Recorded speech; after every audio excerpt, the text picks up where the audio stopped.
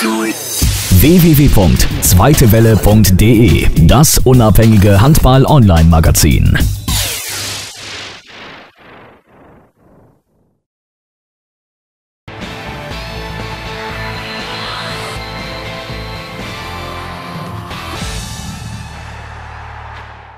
Ich begrüße euch zur Pressekonferenz hier im Hotel Dormiro in Hannover. Es geht um das, unser erstes Auswärtsspiel gegen den äh, Bergischen HC, der für uns zumindest, für mich auch, als der beste äh, Aufsteiger erwartet wird zumindest. Äh, Im Auftaktspiel haben sie allerdings äh, beim TVV Lemgo recht äh, klar verloren. Christopher, du weißt es, du warst dabei, du hast dir das Ganze angeguckt.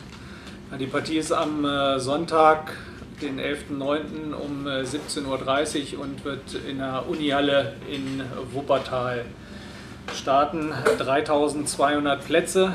Bisher sind 2100 Karten verkauft. Tja, ich weiß die Auswärtskarten heute mal. äh, für die so ein bisschen enttäuschend. Die haben eigentlich erwartet, dass die äh, Halle am Sonntag poppenvoll wird. Äh, bisher ist das nicht der Fall. Schauen wir mal, wie das Wetter wird, ob es äh, dann auch letztlich ausverkauft ist. Ja, Spieler, die zu beachten sind, äh, sind äh, Kenneth Kleef auf der rückraumlinken Position, Torwart Jan Stochel, gegen, die wir, äh, gegen den wir sicherlich äh, sehr platziert werfen müssen. Henrik äh, Knutzen auf Rückraummitte, der in dieser Saison erst vom, von Kielce gekommen ist und vielleicht noch äh, Rückraum im Rückraum der Christian Nippes. Weitere äh, wird sicherlich Christopher nennen, die ihm bisher aufgefallen ist. Ja, Christopher, konntest du dich schon von der Leistungsstärke des BHC überzeugen, beziehungsweise das konntest du in Lemgo? Sag ein paar Worte. Ja, guten Tag. Ich freue mich, euch begrüßen zu können. Äh, wir haben, äh, oder ich habe zusammen mit Benjamin äh, Chaton das Spiel am Mittwoch äh, beobachten können. Ja, man hat gesehen, dass äh, äh, der Bergische HC sicherlich ähm, zwei komplette Mannschaften aufbieten kann. Also die können auf jeder Position wechseln, sind gut aufgestellt und haben nach anfänglichen Schwierigkeiten, die aber wahrscheinlich ja, die anzunehmen sind, dass, dass man die hat, wenn man als Aufsteiger in die erste Bundesliga kommt, dann äh, sich über die zweite Halbzeit ganz gut präsentiert und ich denke, gegen uns werden sie mit einer ganz anderen Begeisterung auflaufen, als sie das vielleicht auch beim nervösen Start in Lemgut getan haben. Ja, vielleicht nochmal zurück zu, äh, zu dem Spiel gegen die Füchse, unser erstes Spiel. Äh, was nehmt ihr jetzt zum BAC von dem Spiel äh, gegen die Füchse mit? Viel Positives, auch ein, einiges Negatives, was ihr jetzt äh, im Training äh, wieder in Positives umgewandelt habt. Was würdest du sagen? Ja, also das äh, Spiel gegen die Füchse wird natürlich mit dem Abstand, den man hat, immer besser. Ne? Am Anfang ist man natürlich frustriert, dass man nicht gewonnen hat, obwohl man vielleicht eine Chance gehabt hätte. Aber wenn man natürlich rückblickend guckt, gegen wen man gespielt hat und auch, dass die im Grunde alles in die Waagschale werfen mussten, um gegen uns zu gewinnen, dann bin ich schon zufrieden mit unserer Leistung. Auch dass wir äh, nach der langen Vorbereitung, glaube ich, ganz gut in die Saison gekommen sind. Nur haben wir noch keine Punkte und deshalb äh, müssen wir gegen den BHC das nachholen. Ansonsten bleibt doch das gute Spiel in, gegen Berlin nichts als eine Randnotiz, aber wir müssen ja, gegen den BHC das spielen, was wir können. Wir haben sicherlich viel von dem, was wir nicht so gut gemacht haben, jetzt in der Woche nochmal trainiert. Aber äh, da kann das Ziel nur sein, die guten Ansätze in mehr Tore und weniger Gegentore umzusetzen und dann als Sieger hervorzugehen.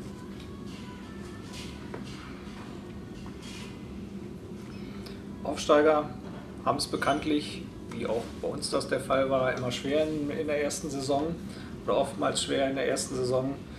Musst du deine Mannschaft warnen oder unsere Mannschaft warnen vor dem BAC? Äh, dass sie den Gegner nicht unterschätzt oder ist das automatisch von den Jungs so, dass sie sagen, in diesem Spiel gehen wir Vollgas?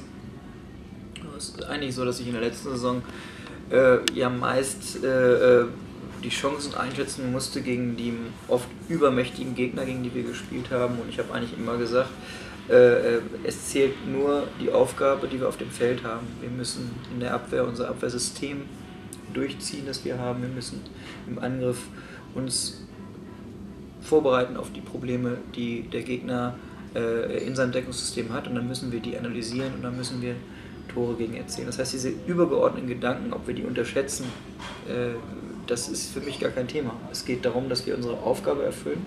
Genauso wie wir das gegen bessere Mannschaften machen, müssen wir das gegen äh, möglicherweise schwächere Mannschaften, das weiß man ja auch nicht. Denn wir haben genauso null Punkte wie der Bergische HC. Insofern sind wir auch nicht besser als die. Das können wir erst am Sonntag zeigen. Insofern bin ich mir sicher, dass jeder einzelne unserer Spiele dieses Spiel gewinnen will. Und da äh, weiß jeder, dass man das nicht mit Arroganz kann, sondern nur mit einem guten Auftreten. Der Bergische HC hat ja ähnlich wie Friesenheim auch zwei Jahre gebraucht, um jetzt den Sprung in die erste Liga zu vollziehen. Würdest du sie ähnlich gefährlich einstufen wie die TSG Friesenheim, die ja durchaus letztes Jahr kein angenehmer Gegner war? Nicht nur für euch. Ja, man kann sicherlich Mannschaften oder Vereine schwer miteinander vergleichen. Der Bergische hat auch eine andere Geschichte als, als Friesenheim zum Beispiel. Äh, man kann aber nur sagen, dass sie eine Mischung aus Bundesliga erfahren, Spielern aus äh, Rookies haben, die zum ersten Mal diesen Schritt in die erste Liga machen. Die werden in ihrem ersten Heimspiel einfach unheimlich viel Begeisterung ins Feld werfen. Das macht es für uns schwerer. Aber äh, letztendlich gilt es in der Bundesliga immer äh, im Vergleich der Qualität zu siegen. Und ich glaube, wir haben die größere Qualität als der Bergische AC. Und wenn wir das, äh, wenn wir das auf dem Spielfeld äh, zeigen, äh, dann wird das für jeden sichtbar werden. Wenn wir das nicht zeigen, wird es schwer. Das hat, wie gesagt, ob die Aufsteiger sind oder nicht. Die werden versuchen, 60 Minuten ihr Bestes spielen, wir werden es versuchen. Und ich glaube, wenn beide Mannschaften ihren besten Handball spielen, gewinnen wir. Marc. Du hattest gesagt, ähm, ihr habt dann in, bei den Sachen, was nicht so gut war, gegen die Füchse gearbeitet in der Woche. Was war das konkret?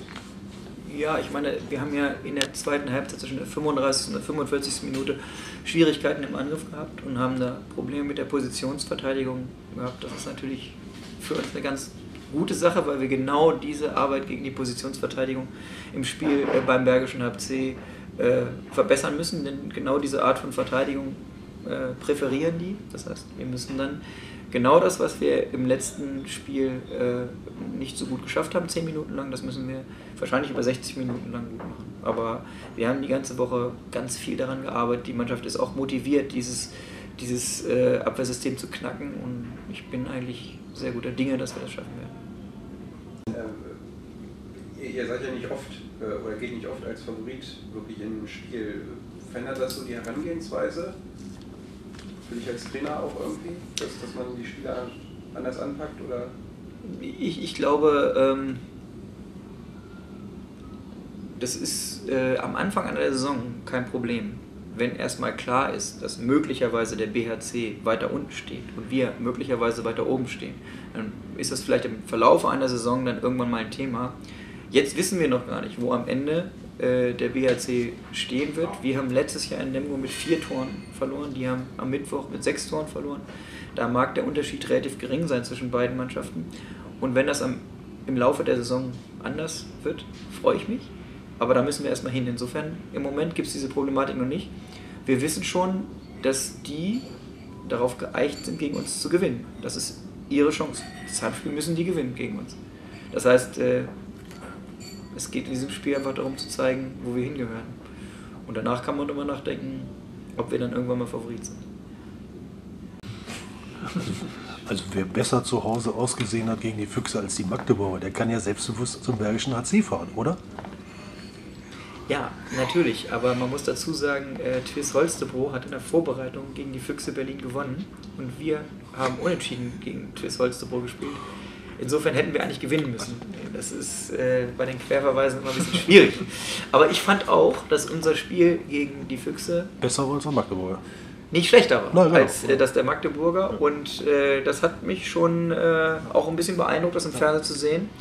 Äh, dass man merkt auch, dass die Füchse durch den Sieg bei uns scheinbar eine Menge Selbstvertrauen äh, dazu gewonnen haben, dass sie dann auch wirklich äh, in Magdeburg gewonnen haben. Das ist für uns gut und äh, wenn jetzt die Punkte kommen, freuen wir uns alle. Die müssen sich eigentlich bei euch bedanken, dass ihr sie geweckt habt. Zum richtigen Moment, weil ich glaube, sonst hätten die Magdeburg mit der Leistung, wie sie am Samstag hier waren, vielleicht ein bisschen schlechter ausgesehen. Da behaupte ich selbstbewusst, es hängt vom Gegner ab. Deswegen. Also, Also äh, äh, wir haben so gespielt, dass äh, auch die Füchse diese Schwierigkeiten hatten. Sie mussten ihr Deckungssystem umstellen. Das ist schon mal eine große Nummer und sie haben am Ende äh, aufgrund von verschiedenen Umständen äh, gewonnen, äh, äh, die ich jetzt hier nicht näher beschreiben kann, inzwischen darf. Äh, und mir liegt es aber fern, das jetzt noch zu tun. Ja, wenn das nicht der Fall ist, dann bedanke ich mich bei euch. Wünsche euch einen guten Weg in die Redaktion und schreibt ordentlich und schreibt vor allen Dingen so, dass wir nächste Woche gegen Rhein-Neckar-Löwen mehr Zuschauer haben.